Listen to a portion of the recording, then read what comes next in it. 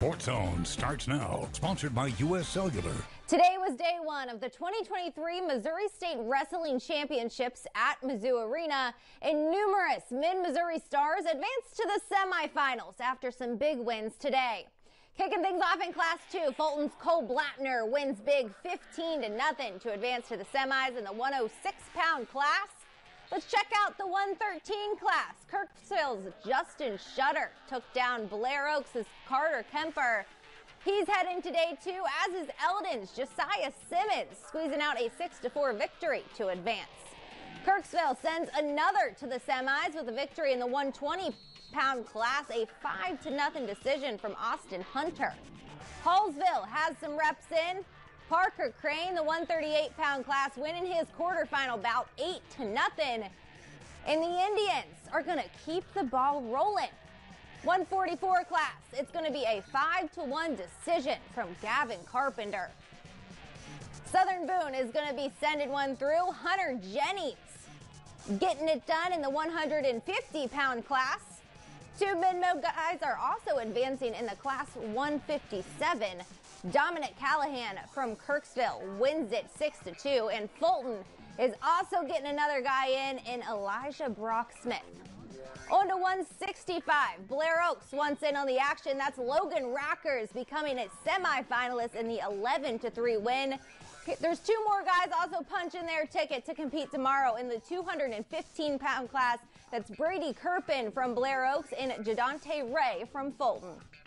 Class 1 boys starting off hot powerhouse Centralia sending eight semifinalists through. The Dubes brothers, Bryson and Braden, both advance, and there's another winner, Weston Ward, working his way through. 132 pound class, Rex Bryson with the takedown. He's advancing in the 5 to 3 decision.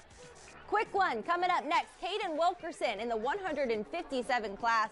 Straight takedown. He gets the win, and he is moving on. Heavyweight time, 285 pounds. Seth Hayskamp manages to get the pin. He's going on till tomorrow. Tolton sits at fourth place after day one. Christopher Ankman starts it off with the pin in the 113 pound class. The Trailblazers keep those pins going. That's Frank Ruther in 150 class now. That's Justin Martin continuing on the 9 to 5 decision. And closing it out in 165, Frank Hazelrig grabs a pin of his own. Next up, Marceline, currently sitting at seventh in Class 1. 144 pound class, Connor Quinn gets the 10 to 4 decision to advance to tomorrow. And both of the Gooch brothers, Ryder and Scout, will be in the semis in their classes. Versailles also had one wrestler advance. Tristan Gavitt won in the 5 to 1 decision.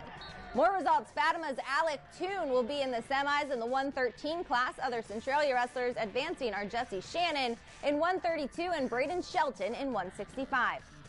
Continuing the Class 1 quarterfinals with the girls. Southern Boone kicking it off. Callie Berghold gets the pin in the 115 pound class. She's heading to the semis. Those pins continuing. Jefferson City's Alexis Dunwitty, domination mode. She's going on till tomorrow. These girls coming with the strength. Moberly's Brienne Gibbs, a pin in the 145 pound class. Heading into the 190 pound bracket, it's Lily Burns representing Tipton. She's moving on. It's time for the heavyweights. 235 pound class Versailles. Sarah Huffman is moving on, as is Eldon's Sydney Searcy.